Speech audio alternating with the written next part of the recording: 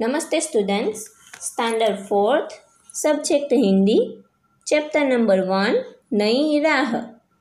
Workbook page number fourteen question number twenty six students देखिए question number twenty six में चित्र में सब्ज़ी पहचान कर उनके नाम हिंदी में लिखिए और उनमें रंग भरिए। तो यहाँ पर जो चित्र दिए गए हैं उनको आपको पहचानना है और बाद में उनके नाम हमें नीचे लिखने हैं। और जो चित्र है, उसमें आपको सुंदर से जो सब्ज़ी के रंग होते हैं, वो अच्छे से सुंदर से रंग भरने हैं। ओके? तो देखिए, आपको कौन कौन सी सब्ज़ी दिखाई दे रही है? पहले तो मिर्ची, फिर बैंगन, फिर आलू। उसके बाद हमें क्या दिखाई देता है? टमाटर। फिर ये बड़ी सी है, वो क्या है?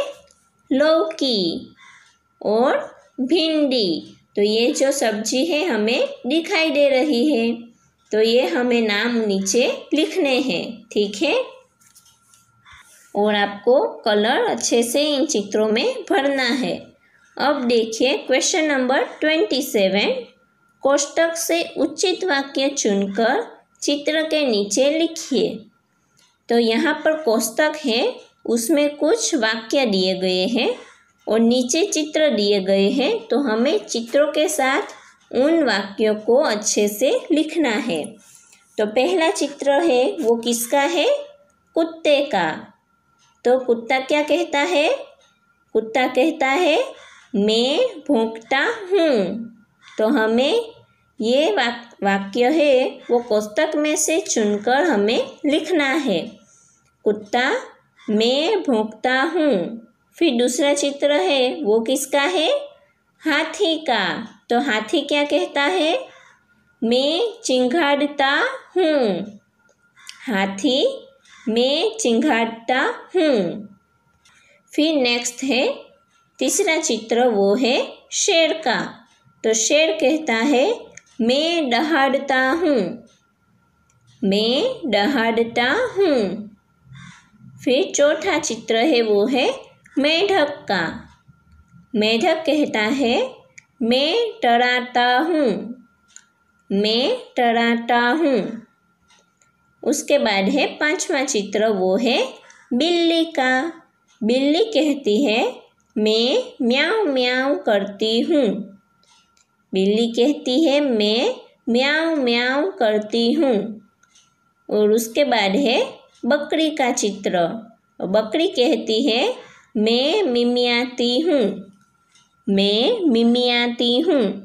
मतलब कि स्टूडेंट्स यहाँ पर हमें इन सभी चित्रों के साथ उनकी आवाज़ को लिखना है कि वो लोग कैसे बोलते हैं। ठीक है?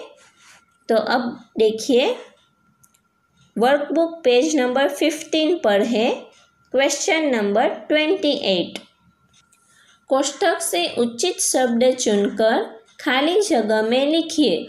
तो यहाँ पर कोष्ठक में कुछ शब्द दिए गए हैं और नीचे खाली जगह है, उसमें हमें कोष्ठक में से शब्द चुनकर लिखना है।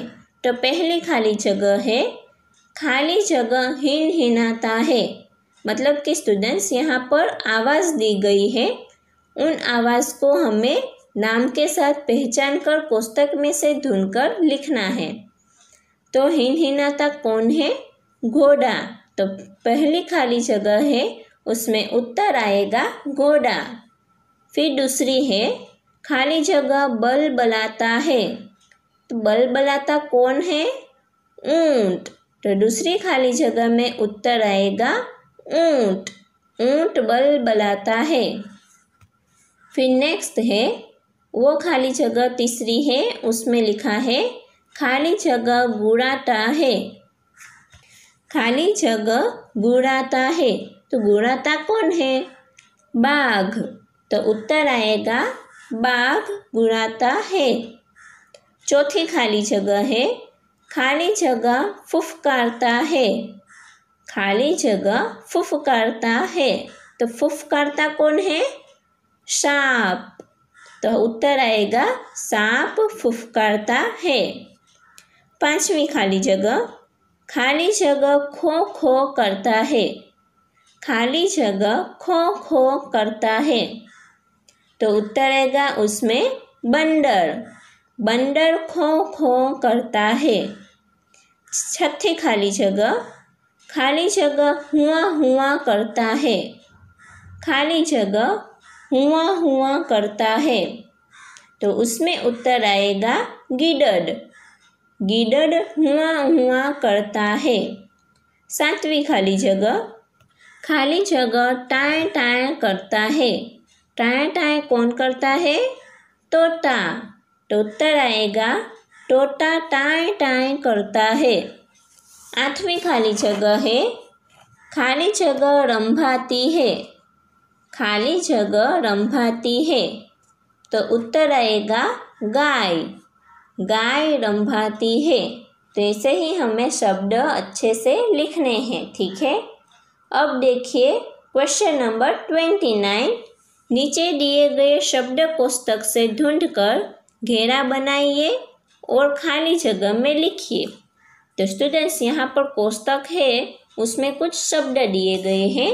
उन सभी शब्दों को हमें कोष्टक में से जो नीचे दिया गया है, उसमें से ढूंढना है और उस पर घेरा बनाना है। फिर घेरा बनाने के बाद वो सभी नाम यहाँ पर नीचे जो खाली जगह दी गई है, उसमें लिखना है। तो देखिए यहाँ पर मैंने कुछ घेरे बना लिए हैं। तो उन घेरों के नाम भी मैंने यहाँ पर नीचे लिख लिए हैं।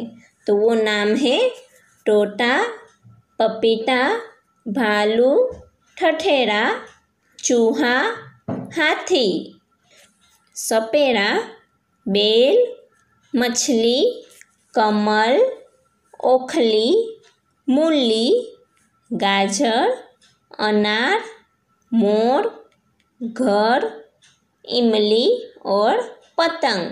तो इन सभी नामों को ढूंढकर यहाँ पर खाली जगह में लिखना है। अब देखिए क्वेश्चन नंबर थर्टी किसी एक सब्ज़ी और एक फल का चित्र बनाकर उसके नीचे उसका हिंदी नाम लिखिए। स्टूडेंट्स आपको यहाँ पर एक सब्ज़ी का चित्र बनाना है। और उसके नीचे उसका हिंदी नाम और साथ में अंग्रेज़ी नाम भी लिखना है। बाद में पास में सब्ज़ी के जो चित्र बनाओगे, सब्ज़ी का चित्र, उसके पास में एक फल का चित्र भी बनाना है। और फल का चित्र जो बनाओगे, उसके नीचे उस फल का नाम और फिर उसका अंग्रेज़ी नाम भी आप लिखोगे। ठीक है? तो देखिए, यहाँ पर मैंने बनाया है टमाटर और उसका स्पेलिंग लिखा है T O M A T O tomato. तो वैसे ही यहाँ पर मैंने दूसरा चित्र बनाया है फल का, वो है आम का चित्र। और मैंने जो नीचे लिखा है वो है आम और उसका जो अंग्रेज़ी स्पेलिंग है वो भी लिखा है M A N G O mango तो ऐसे ही आपको भी जो आपकी मनपसंद सब्ज़ी और फल हो, उसका चित्र आप यहाँ पर बनाओगे और बाद में उसका हिंदी नाम और साथ में अंग्रेज़ी नाम भी लिखोगे। ओके? ये आपको अच्छे से सब सुंदर अक्षर के साथ आपकी वर्कबुक में लिख लेना है। ओके? Thank you